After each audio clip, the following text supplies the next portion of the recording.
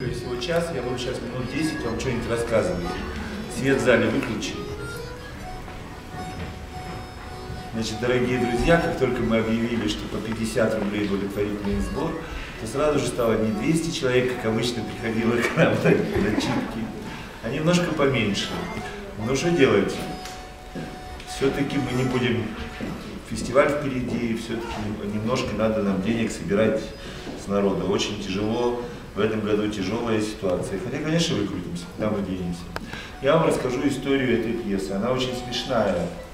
Потому что я дал задание своим студентам написать пьесу, чтобы было обязательно действие происходит в шиномонтажке, на краю города, чтобы обязательно было мало действующих лиц. И слово лапсердак я еще там сказал, чтобы они употребляли. Ну вот, и они все писали, и появилась пьеса «Лапсердак» у Кати Гуземы, которая сейчас идет уже э, в Центре современной драматургии, очень приличная пьеса, еще несколько пьес появилось таких. Где-то этот лапсердак был, где-то его не было, где-то шиномонтажка так проскальзывала. Но я, по-моему, я, я вот точно не помню, по-моему, я первый написал эту пьесу, а потом приехал из Польши, больше мне делать было нечего, я оставил корабль дураков, у меня очень много было помощников, я сидел как режиссер налево-направо, говорил все, они все работали, бегали, вот, а я сидел пьесу писал, написал пьесу «Змея золотая», потом, по-моему, приехал, так было, и дал задание своим студентам написать пьесу такую же, ну, проверить, кто лучше, я или они.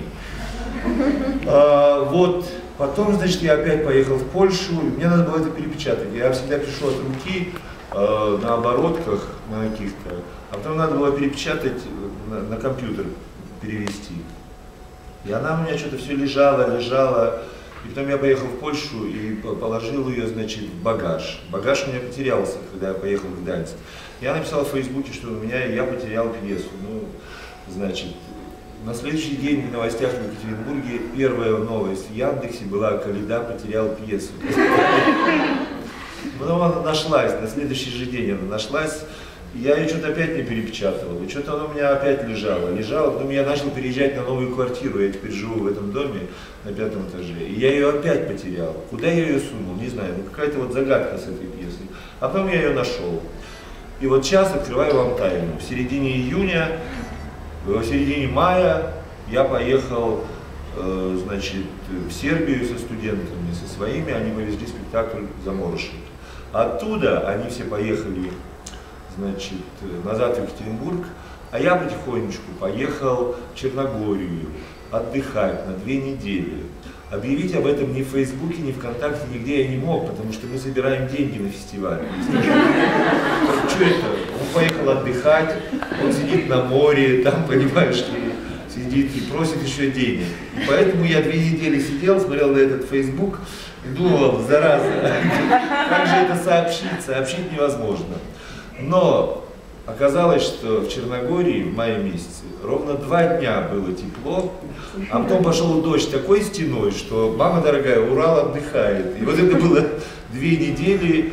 И что делать бедному писателю, бедному драматургу, когда он видит дождь за окном? Он начинает страдать, скучать, он начинает писать пьесы. Я прочитал 225 пьес, все, которые пришли на конкурс драматургов Евразии, я написал две пьесы. Наконец я написал эту пьесу, которая называется «Змея золотая», и написал пьесу под названием «Матахари. Любовь». Спасибо Черногории, очень-очень благодарен.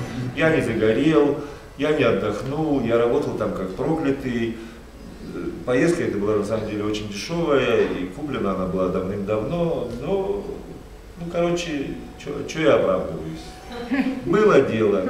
Поехал, да, отдохнул, потому что после поездки э, во Францию, Польшу и в Сербию мне просто надо было, необходимо куда-то куда, -то, смыться, потому что уже они меня, товарищи артисты, которые стоят сейчас за кулисами, достали, достали так, что сил не было. Вот, написал эту пьесу. Сегодня с утра я ее редактировал, а потом мы с артистами читали. И так плакали. Я надеюсь, и вы будете плакать. Спасибо вам большое.